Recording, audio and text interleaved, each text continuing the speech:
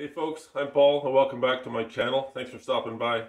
Um, today I thought I'd take a break from my uh, series on uh, building a, a, sports car and uh, do a little fun project, um, which is building a uh, potato cannon, an air-powered uh, potato cannon. Um, I, I, had this neat idea, or what I thought was neat anyway, to try and measure or calculate the muzzle velocity of a of a air cannon of a potato uh, air the air powered potato cannon. And uh, well, to do that, we've got to uh, we got to have a got to have an, air cannon. So I thought I'd show you how I built mine. There's some uh, there's some I think uh, serious safety concerns to be uh, to be to be worried about that uh, it keeps everybody safe. So let's uh, let's get into some of that stuff, and I'll show you how I built it, um, and we'll have some fun with it like any uh, air cannon, uh, I mean, they all have um, a, uh, a pressure chamber where the uh, air collects before it's uh, before it gets blown out into uh, out through the barrel. Um, so you, on one end, you have to have the connections to get I'm going from a regular airline. Um, somehow you got to get up to. I'm using a two-inch PVC air chamber here. Uh, somehow you got to get from here to here, and there's all different ways to do it. Um, but you got to just find it at your hardware store the the uh, the fittings to get from from here to here. So that's that's one end of the chamber. At the other end of the chamber here is you got to get down to whatever's controlling you the the flow out of the out of the chamber. I'm just using a regular um, irrigation valve um, that I actually recovered from a irrigation system that I took apart. Um, it's just an old valve that I had. And uh, then this controls the flow. And once you power this and the air flows out out of this end and through the tube and fires your your your potato projectile uh, out the other end there. As I was saying, the valve that I use to, to, to control the flow of the air is just regular um, your irrigation valve. You can get these at any big box store. Like I said, I've recovered these from a from a you know irrigation system I I, I took apart, but you can get them at Home Depot or Lowe's or anything like that. Um, I would go either either get them the normal ones you find, or either either um, uh, uh, three quarter inch size or one inch. I, I try to pick, pick a bigger one. I think the three quarter will probably work, but I, I wanted as quick airflow as I could get. Obviously, you want the air to move as fast as possible.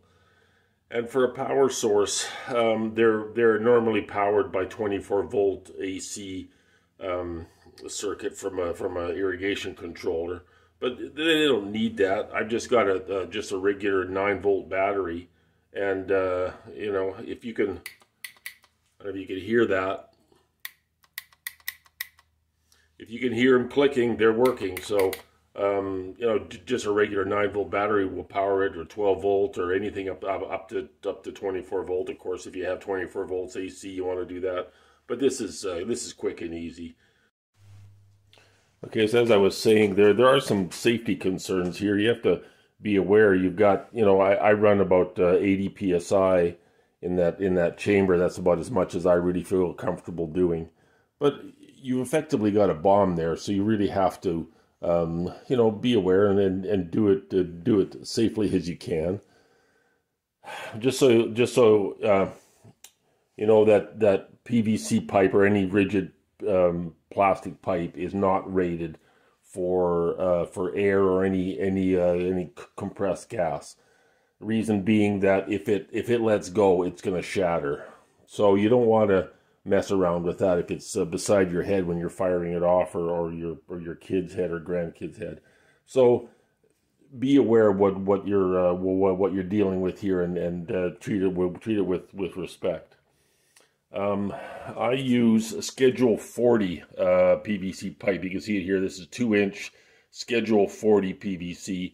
This is a fairly heavy wall pipe. Um, it's not the the, the cheap uh, irrigation stuff that you can get, which is uh, what it either schedule or series 160 or or, or 200. There, um, this is quite a bit heavier wall, and it's uh, and it's a lot stronger. Like I say, I'll I'll run this at maybe 80 psi. Um, it it it's uh, rated for water. It's not rated for air. With water, it's rated to uh, 280 psi. So I'm sort of a third of that. So I feel fairly safe. And uh, the uh, the actual burst pressure of this is probably I think it's close to about 900 psi. So I feel fairly safe with that. But having said that, it, it's not rated for for compressed gases. So um, you know, take your uh, this is uh, this is on all of us uh, individually as to what, what what we're comfortable with. But please at least go schedule 40.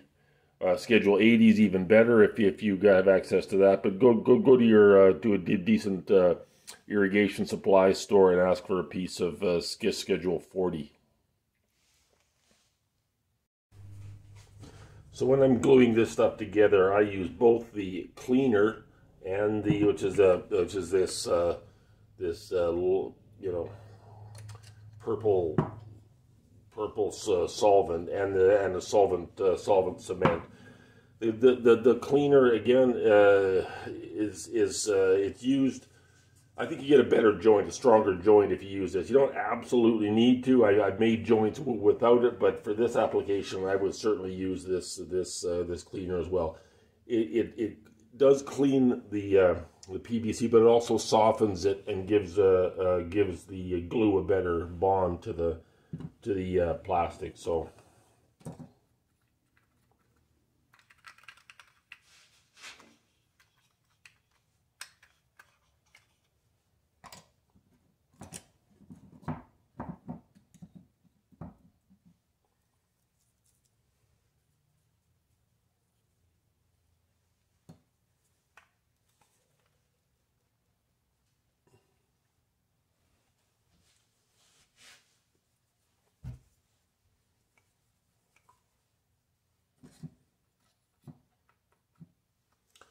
when you're gluing it together, you know, you have to move fairly quickly so that the glue stays nice and nice and uh,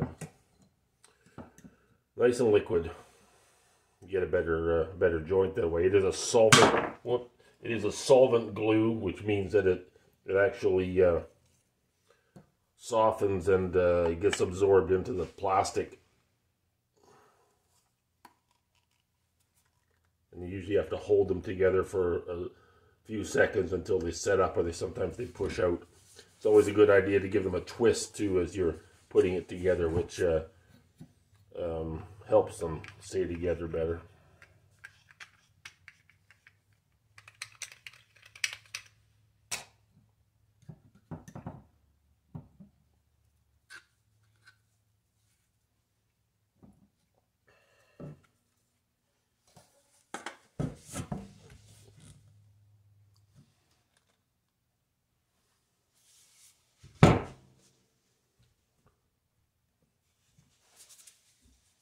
And the same on the other end. So for the Teflon tape, just take about um,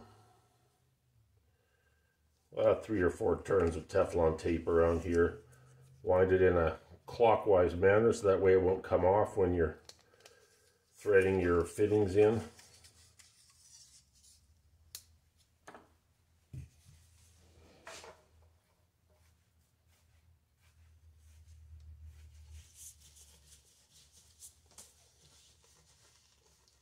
Have to do them real tight. It's it's a um, um, you know we don't really care if it leaks a little bit. So you got air pressure on it all the time. So if it leaks a little bit, doesn't matter.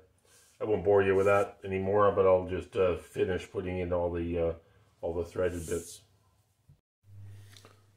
So there it is completed here on here on the this end. We've got the connection for uh, for the air here um, and you somehow get up to the two inch. Uh, there's a two inch barrel, and here's the here's the valve in line. You just have to get from the one inch up to the two inch here. Uh, make sure you get the valve in the right uh, direction that the flow is going flows going that way. Um, and there's the and there's the barrel. And I the, the actual dimensions aren't aren't uh, very critical. I that's probably about uh, what is that two and a half feet, maybe three feet, uh, and this is probably around uh, around two feet long. So, the one thing I like to do is to put a um, sort of a sharp edge on here. So when you shove the potato in here, it makes a really nice cut. It makes a nice uh, nice edge on that, so that it seals well on the inside of the of the uh, of the barrel here. So I just use a file and just take that off.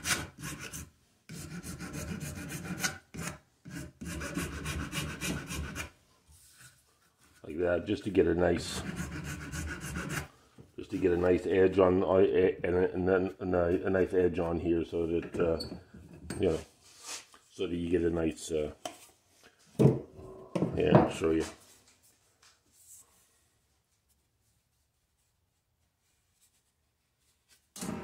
Like that. All right so after it's done I'd leave it for a couple hours to let the, the glue set up well. Um, but then it's just a matter of you know taking the Take a look the airline.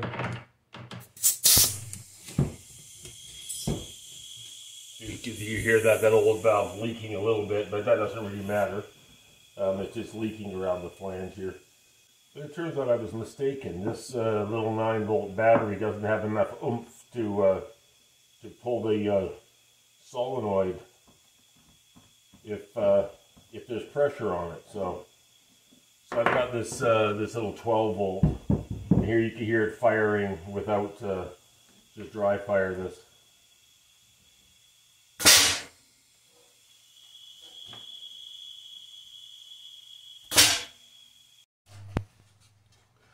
The only other thing I've made that uh, sort of helps with the loading is just a stick with a screw or a nail in it that allows you to, to load the potato in and not push it into the valve so it so it stops about here so that the, the potato charge sits, sits down here close to the valve.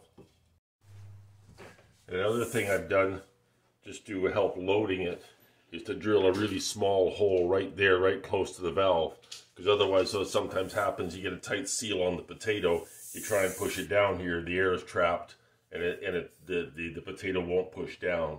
So if you just let a little tiny hole there and not not enough to bleed off the air pressure when the valve goes off, but just enough to let the air out when you when you're pushing the potato up to the up to the valve here. So then to load it, of course, here's your potato. Push it in there close to the, so you get a nice tight seal all the way around. Push that down. You're ready to go. I don't know if you caught that, but it actually goes right through. That's the power this thing has. See that? Came out the other side.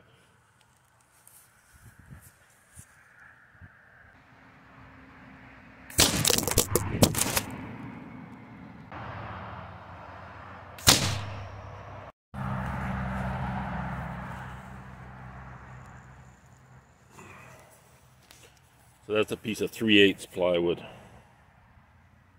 with a potato. Unbelievable what the power these things have.